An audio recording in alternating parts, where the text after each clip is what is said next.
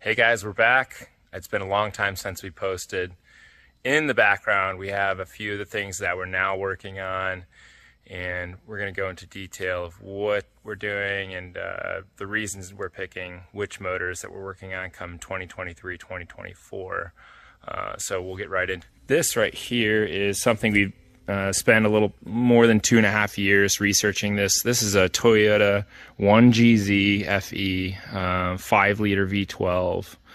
Um, essentially came in the Toyota Century, only available in Japan uh, through the 90s and up until 2016. The motors are very, very reliable. Dual overhead cam. Um, essentially two Toyota basically used two computers. You can see them right there, and uh, segregated these motors into two different engines, and they share a crank. Essentially, it's a 60 degree V8. Uh, like I said, dual red cam this makes about low to mid threes, I think. Horsepower, torque is is uh, pretty strong though on these, uh, or maybe 300 torque and then uh, 300 horsepower and and a little bit more torque. But regardless, good reliable engine works really well for what it is. However, these engines have went up in price significantly in the past year and a half since COVID, post COVID. I don't know when you're going to watch this or who's watching this or whatever, but basically uh, the price of Toyota V12s have skyrocketed. We picked this one up, I think, for 2,800, and I thought that was a ridiculously high price. The other one I picked up, I picked up for uh, 2200. We got another one. This is a 1997 motor. The other one I have is a 2004 1GZ FE. So what all this translates into is we want to find the best bang for your buck, the best sound that we can get out of an engine uh, going forward. We want to concentrate on these V12s before we can't get them anymore. And what I'm getting at is this this Toyota V12 is almost unobtainable. It's it's uh, creeping up to the five thousand dollar mark, which is crazy for a Toyota engine that uh you know doesn't make more than 400 horsepower. So, with that said, companies like Hartley and a few other companies make some supporting parts for it, but we're not going to get into the hardcore like piston and rod type scenario. We're just going to uh, you know create the supplemental parts, headers, engine mounts, adapter plates, flywheels, uh, stuff to make these things cool, almost in stock form. Um, people are running like Haltech Nexus 5s and MaxxECU, stuff like that. There's a, a bunch of different ways you can tackle the engine management system on these engines. But to transition, we are essentially going to we're essentially going to move forward and start focusing on these. So right now we're dotting this up. This is a Mercedes M120 6 liter V12, and this is out of an S600 that we have right here. This is a 1998 Mercedes Benz W140 chassis. And the reason we went with this car is a multitude of reasons. I actually had a, a uh, CL600, a 5.8 liter 2002 um, vehicle. I still have it. It's it's over here, but uh, it's not in the shot today. But the reason we went with this six liter V12 is it produces a lot of power for the late 90s. It's an over square engine. It's dual overhead cam, and they just sound amazing. Pagani used these in the Zonda in the early 2000s. I can't remember the exact time frame, but they were used in uh, some hypercars.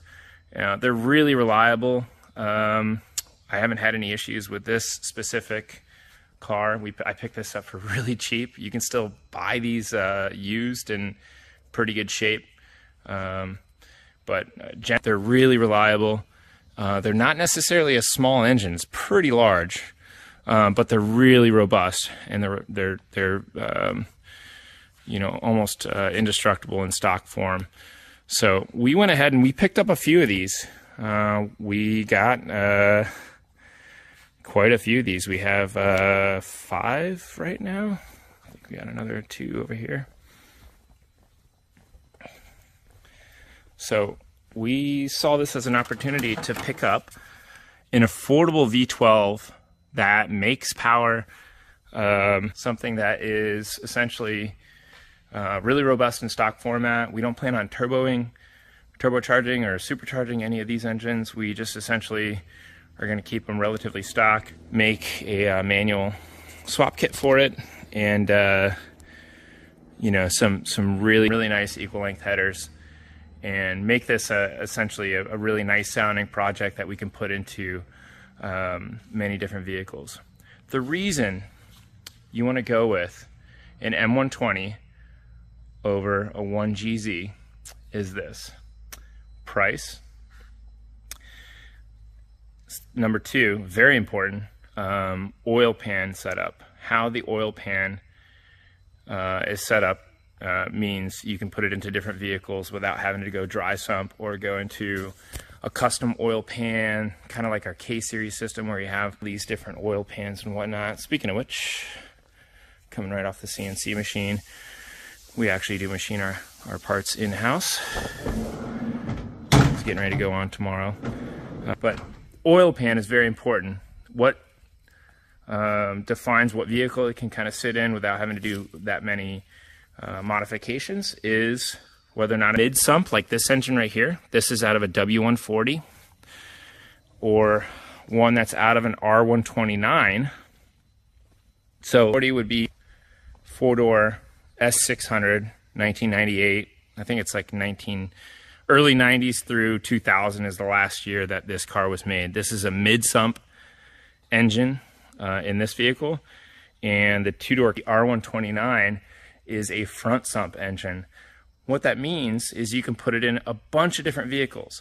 So essentially, uh, a big advantage of the M120 can make a bunch of different swap kit parts, a bunch of different transmission options, header options, et cetera, so forth. Uh, engine mount options. The engine mounts are this in the same location with both front sump and rear sump. The block doesn't change, but the oil pump uh, pickup tube and the mid pan and the lower pan do change. And so that affords us a lot of benefits to go with uh, this engine and, and put a lot of years and time and machine work and all sorts of stuff into this as opposed to going to this. We've already done a few things with this. We made an adapter plate and a few other things. And um, we're still going to support the, the 1GZ FE, but we're not going to support it as much as we're going to go into the M120. The M120 shows a little bit more promise. It makes a little bit more power, um, you know, per liter than the 1GZ. Um, it just sounds amazing. Over square engines sound absolutely phenomenal. What over square means is the uh, bore is essentially larger than the stroke. So this will have a longer stroke than the bore, and uh, this this just like a Ferrari, or I'm sorry, a Lamborghini. A Lamborghini is a, a, a great example of an over square engine. So is an F1 car. An F1 car has a tiny stroke, you know, like a one inch stroke or maybe a little over an inch, but the bore is like a three and a half or four inches, and it just revs to like 12,000, 13, 14,000 RPM. So it sounds crazy. They just, I don't know driving an internal combustion engine that revs high sounds really cool. That's kind of what we're going at. This is becoming uh, too expensive. We're going to focus on M120. There's another motor. Um, these are really heavy. These are like 640 kilograms. And the model that um, is just after it, the M137, is a 5.8 liter uh, V12 that essentially is, I think, 80 kilograms less than the M120, um, which makes it just about the same weight as like an LS, a fully loaded LS. But they don't make as much power and they don't sound as cool and they're not as reliable.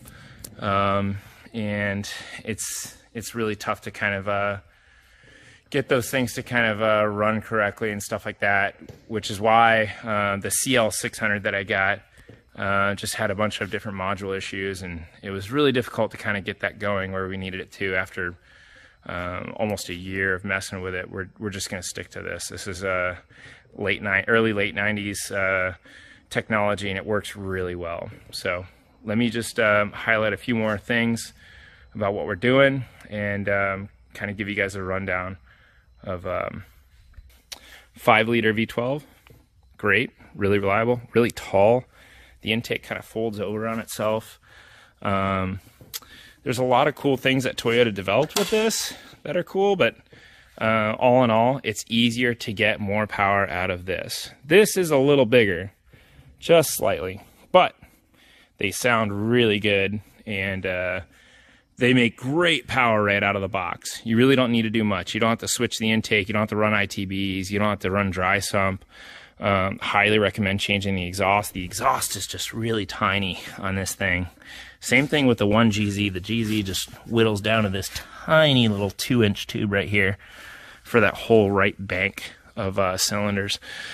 Um, but just like typical Toyota fashion, they have everything uh, completely redundant and, um, you know, two igniters, um, two computers, two crank angle sensors. Uh, it's basically two engines, like I said before, kind of just sharing a crank in a 60 degree format. Um, this is also a 60 degree engine. Uh, kind of designed the same way. Two engine or two computers, two crank angle sensors. You can see right there. Um, you know, uh, this one's a little different. It's it's coil on plug, um, and I don't think it's sequential sequentially injected. But um, they do have, uh, like I said, different versions of the oil pump. We're gonna come over here and look at this uh, oil oil pump and pickup configuration here. We're going to go ahead and flip this around. I'm going to show you um, why uh, this is essentially the way to do it. It seems as if this is drive-by-wire, right? This is going into a you know harness that's kind of uh, into uh, the throttle bodies, and they both have that same system. However, if you look over here, little tangent, the throttle cable is connected to this little I don't know servo or or uh, potentiometer and then this controls the drive-by-wire nature of this 98 motor. So we can even adapt these into cars with a throttle cable. I thought that was really cool. Over here, Dan went ahead and flipped this thing over. We're going to look at the sump. This is, again, an S600 W140 V12, 6 liter V12. In here, we have a mid sump engine, mid sump configuration. And if you look in here, you can kind of see that the pickup unbolts from the front oil pump area just similar to how Toyota does most of their engines like the JZ engine, 1UZ, stuff like that. But on the 1GZ, this thing, this is one of the reasons this, this motor sucks, is because the uh, pickup and the oil pump and everything is stuck inside the lower oil pan. When you remove that, you'll see everything kind of uh, clogging up that area. It really, it really prevents you from it prevents you from swapping it into a bunch of different engines. The one, one GZ is strictly front sump. To get it into mid sump configuration, which is what you would need for Supra, FDRX7, SC300, basically anything cool that is two door, like a sports car is gonna be mid sump. LS 430. uh, definitely gonna do that. This is the ticket. If you have a mid sump car, a mid sump subframe configuration, you want to go with an M120 for that reason only. It just simplifies the oil pan, oil pump pickup issue. You don't have to spend 2500 3 grand on a custom dry sump if you want to daily drive something like this i know that that sounds crazy but uh, daily driving a v12 in you know a luxury car. Um, honestly, I think that's the move, in my opinion. That's kind of where we're going. We're just trying to get uh, these V12s into a few cars before we can't buy V12s anymore. You know, uh, internal combustion engines are probably going to be extinct in the next seven to ten years. It's really sad to say that. So um, that's why we're going to focus on big V12s, cheap big V12s, while we can and uh, uh, try to put them in as many vehicles as we can. So uh, that's pretty much all we got today, um, and we're gonna keep you guys updated. We made a, a few. Um, made some progress with some K series stuff recently. We haven't really released that on the website. By the way, we came up with a new website. Forgot to tell you guys that. Um, go check it out, collinsadapters.com, uh, and stay tuned on our YouTube channel. I'm sorry, on our Instagram, which is uh, at Collins Garage. And don't forget to subscribe for some more uh, updates, parts of the like. Thank you guys, and let me know in the comments below which one you think is better, M120 or the 1GZ.